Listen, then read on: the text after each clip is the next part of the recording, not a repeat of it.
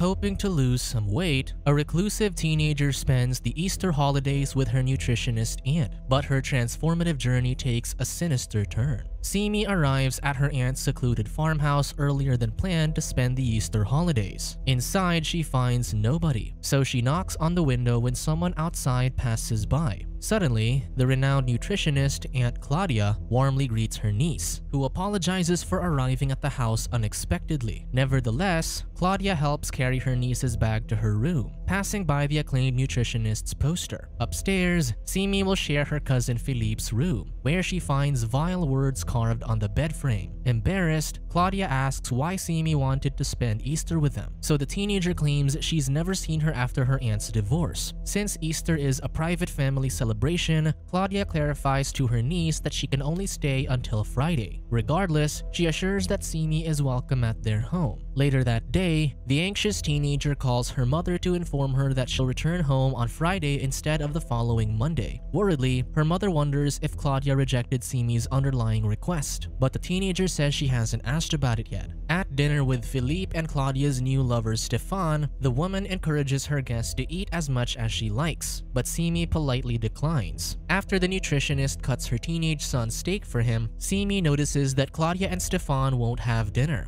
As a way of abstinence during Lent, Claudia confirms they're religious in a non-traditional way. Afterward, while Simi despondently eyes her figure in the bathroom mirror, Philippe barges inside and cleans his body. When he notices his cousin staring, he confronts and insults her appearance, making the insecure teen more self-conscious. In bed, Simi hides her phone when Claudia enters the room to check on her son's device. Once satisfied with her fruitless prying, she bids him goodnight and leaves, whereas as Philippe flicks with his pocket knife menacingly in the dark. When Simi wakes in the middle of the night, she heads downstairs and witnesses Claudia and Stefan in a steamy exchange through their open candlelit bedroom. On a jog the following day, Simi sees a stack of branches in the middle of a clearing. Curious, the teenager encircles the bonfire setup and sees a fuel container and a bag hidden between the branches. Inside it, she finds clothes and a candy bar before leaving it behind. When Simi returns to the house, she finds a sumptuous meal on the dining table while Stefan finishes finishes his morning workout. Flustered by last night's memory, Simi declines his offer for breakfast. Asking about the pile of wood, Simi learns that her aunt plans to have an Easter bonfire. Stefan urges her to eat with him so Claudia won't catch him failing their fasting. However, the relentless teen declines and immediately heads to the bathroom. After showering, Simi finds her aunt putting her stuff in Philippe's empty drawer without permission. As Claudia unpacks her niece's bag, she finds a magazine she authored with annotations. Learning that Simi studied her work, works, Claudia asks if she came to her for help in losing weight. Instead of admitting the truth, Simi says no, so the nutritionist reveals she can't help her anyway since she's too busy for the Easter celebration. Nevertheless, Claudia offers to lead her in the right direction. Later that day, Simi hopelessly assures her mother through text that she's doing fine. The mother then sends an encouraging message, reminding her daughter that she's beautiful the way she is. As Claudia passes Simi by hurriedly, the curious teenager follows and watches her argue with Stefan outside through the window. Then the anxious woman re-enters the house, looking for Philippe. When Simi answers that she hasn't seen him, Claudia reveals her son has disappeared, insisting they call the police before dark. However, Simi thinks she knows where her cousin has gone and leads her aunt to the bonfire site. There, Stefan finds his stepson and reunites with Claudia. That night, Claudia reveals Philippe lost his way while playing in the woods. Grateful for her niece's help, the nutritionist changes her mind and offers to help Simi lose some weight until Sunday, delighting the teenager. At dinner, Philippe joins the table and glares at an elated Simi, who smiles at the appetizing meal in front of her. After putting food on her son's plate, Claudia takes away her niece's plate to start detoxifying her body. Taken aback, Simi learns she won't have any meal until Sunday, surprising Stefan as well. Nevertheless, Claudia affirms her strict regimen, claiming she'll start a low-calorie diet afterward, assuring her niece of the effective method. After dinner, Simi contemplates as she cleans Philippe's leftovers, but decides against her tempting thoughts. As her pupil, Claudia helps her niece check her weight and measure her fat in the bathroom to customize her diet meticulously. She then warns Simi that she'll quit helping her if she doesn't abide by her instructions. As Simi is about to sleep, she shockingly shockingly finds a beheaded rat on her pillow, which Claudia immediately removes. When Simi asks Philippe if he's responsible, the teenage boy only flips her off while flicking his pocket knife. Disturbed, Simi asks to sleep elsewhere, so her aunt gives her a mattress in the living room. On her way, Simi meets Stefan, who tells her she doesn't need to lose weight since she's beautiful the way she is. However, the determined teen doesn't mind his advice and proceeds downstairs. The following day, Simi only watches Philippe heartily eat his luscious pancakes. While spaced out that afternoon, Claudia calls her and furiously confronts her with a candy bar wrapper she found in her bag.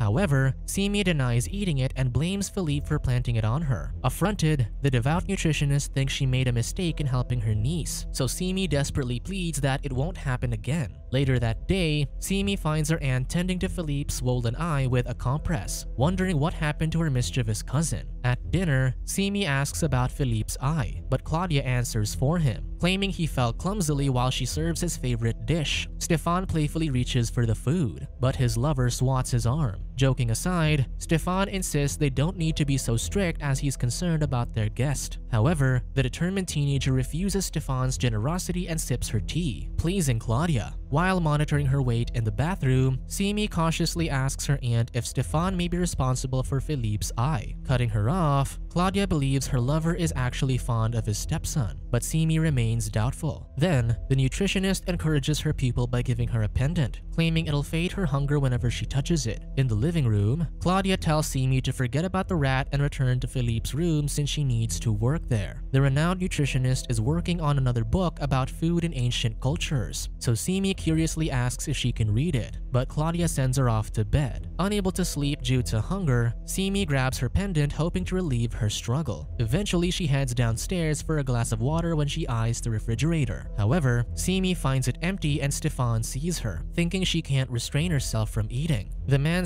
sympathizes with her since he's unashamedly failed his fasting. Then, Stefan drinks from Simi's glass and taunts her alluringly to satisfy a different kind of hunger. Cornered, the cautious woman stabs him with a knife, making him lean on her breathlessly, but Simi suddenly awakens from her nightmare. When the hungry teenager gets up, she checks the fridge and finds it full, contrary to her dream. In the dining room, Simi claims she didn't sleep well, to which Claudia replies that her body is effectively burning fat. Then, Stefan greets them good morning, whom Simi warily regards. When the man is about to leave and hunt, Claudia persuades him to take Philippe. Despite her son not wanting to be left alone with his stepfather, Claudia insists they'll have a fun boys' day. Seeing her cousin distressed, Simi volunteers to join the hunt. In the woods, Simi watches Philippe shoot down a rabbit in the distance while Stefan compliments him. When the trio approaches the hare, Stefan hands his stepson a knife to finish his job and end its suffering. However, Philippe remains frozen as he hesitates to kill the poor animal despite Stefan's frustration. To help him out, Simi grabs the knife and immediately eliminates the rabbit. When the trio returns to the farm, Stefan irritatingly dismisses Philippe and orders his guest to follow him and finish what she started. Thinking that Stefan dislikes Philippe, Simi watches him prepare their hunt and asks if it's for Easter Sunday. The man lets her anticipate the celebration and commends her work before she leaves to dump the waste. In the woods, Simi empties the bucket by the bonfire site and contemplates eating the hare's piece of organ but decides against it. When Simi returns to Philippe's room, the hostile teen tearfully curses at his cousin, depreciating her attempt to help him earlier. Trying to reconcile with her cousin, Simi claims she would have run away too if Stefan was her stepfather. Despite despising Stefan, Philippe reveals he's trying to escape from his mother, thinking she'll harm him soon. He insists that Claudia is a psychopath who isolates him from his friends, but Simi finds him crazy and storms off as her cousin starts berating her again. That night, in the bathroom, the nutritionist notices her niece spacing out, so the young woman reluctantly reveals that Philippe is afraid of his mother, thinking she'll harm him. Despondent, Claudia sits on the bathtub and claims her son has a mixed personality disorder, which explains his paranoia. Crying, Claudia reveals that Philippe's condition is worsening, making him change schools repeatedly. Having witnessed her aunt's vulnerability, Simi trusts Claudia, just as she trusts her with her worries. In bed, Simi watches her aunt bring Philippe water and checks his phone before bidding him good night. Contrary to his mother's actions, the hostile boy insists she hates him, to which his cousin disagrees. Adamant, Philippe reveals that he'll stab Claudia if she threatens him. Thinking his cousin is teaming up with his mother, Philippe points his knife to Simi, who nervously refutes his claims, so he returns to his bed. The following day, Simi holds her pendant as she stares at the bread before her. Then, she watches Claudia suspiciously bury something outside. As the woman leaves, Simi checks on the fresh soil, where she finds a stone on it, while a totem and Philippe's picture are underneath. Disturbed, Simi calls her mother, learning that her aunt has been esoteric ever since, so she plans to return home. Suddenly, Claudia appears, so the young woman ends the call and puts the phone on the floor, denying that it's anything important. Later that day, Simi asks her aunt if she has seen her phone, but Claudia denies it and accidentally cuts herself while washing a knife. When the woman leaves to fix her wound, Simi hurriedly rummages through the drawers for her device. Eventually, Simi enters Claudia's room and continues her search. Then,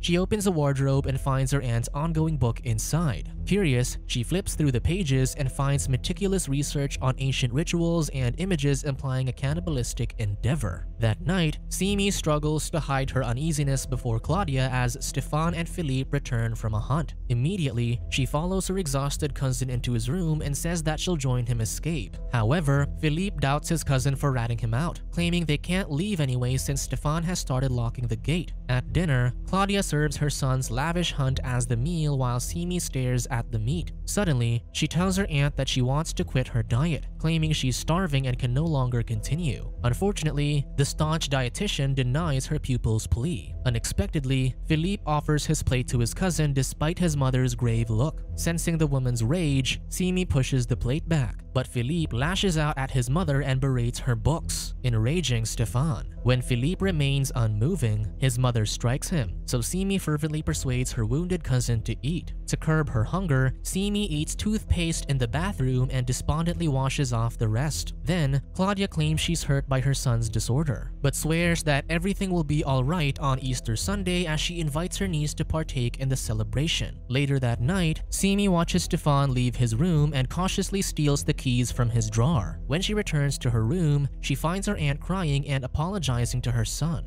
After Claudia leaves, Simi shows Philippe the key to the gate, urging him to plan their escape. Realizing their goal, Philippe sets his alarm at 6 in the morning to catch the first train to Vienna. When they turn off the lights, Philippe tells her to learn to accept her body, but his cousin refuses to listen to his judgment. When Simi wakes the following day, she finds her cousin gone at 8 in the morning with the gate opened. Realizing that Philippe left her behind, Simi sulks on the table as they await any news about the boy's whereabouts. Then, Stefan announces that that Philippe is with his father on the phone in Vienna, easing Claudia's worries. Later that day, Simi asks Stefan to take her home to Vienna as well, claiming she wants to spend Easter with her mother. Without further questions, the man tells her to pack her things, so Simi returns to Philippe's room. While packing, Simi finds her phone underneath the drawer and texts Philippe, only to receive a foul reply and a photo of his hand in a rude gesture. In the dining room, Simi asks her aunt if she's sad about Philippe's absence. Then, Claudia apologizes apologizes for her erratic behavior and unpleasant hospitality during her stay. While the dietitian softens up, she urges her niece to quit the diet whenever she wants. As Simi's discomfort eases away, she tells Stefan that she has changed her mind and wants to finish fasting. That night, Claudia helps her niece dress up for the feast while Stefan prepares the dining table outside. When the clock strikes 12, starting Easter Sunday, Claudia leads Simi to her seat as she fervently prays over the food for a new beginning. Afterward, the woman persuades her niece to eat as much as she likes and cuts the meat for her. Simi holds her pendant and takes a bite of the food while the couple follows suit. As the trio savors the end of their excruciating fast, Claudia and Stefan bid goodnight to their guest, who will be leaving in the morning. Unable to sleep after relieving her starvation, Simi sits up and suspiciously finds Philippe's pocket knife on the floor. Then, she texts her cousin and notices the background of the photo he sent earlier was the outhouse, implying that the picture was taken where she watched Stefan butcher their hunt. With chills down her spine, Simi breaks into the outhouse, calling for Philippe. However, she finds her cousin's lifeless body on the slab as memories of the feast flood her mind. Then, Stefan comforts the teen, insisting that she knew what she was eating that night since she decided to stay. When Simi continues crying, Stefan offers to take her back to Vienna and forget everything. As they exit the outhouse, Simi grabs her pendant in comfort and stabs Stefan repeatedly with Philippe's knife. Outside, Claudia sees them and catches her niece, but Simi overpowers her and runs away. Into the woods, the couple drive their car into the bonfire site, where Claudia searches for her niece between the bonfire branches, insisting that Philippe has become one with them. When the young woman doesn't respond, she furiously douses the bonfire with fuel. Suddenly, Simi pours fuel on her aunt from behind and immediately ignites her to her death. Moments later, the detached Simi sits beside Stefan's dying body, who hands her his gun as she grabs her pendant in solace.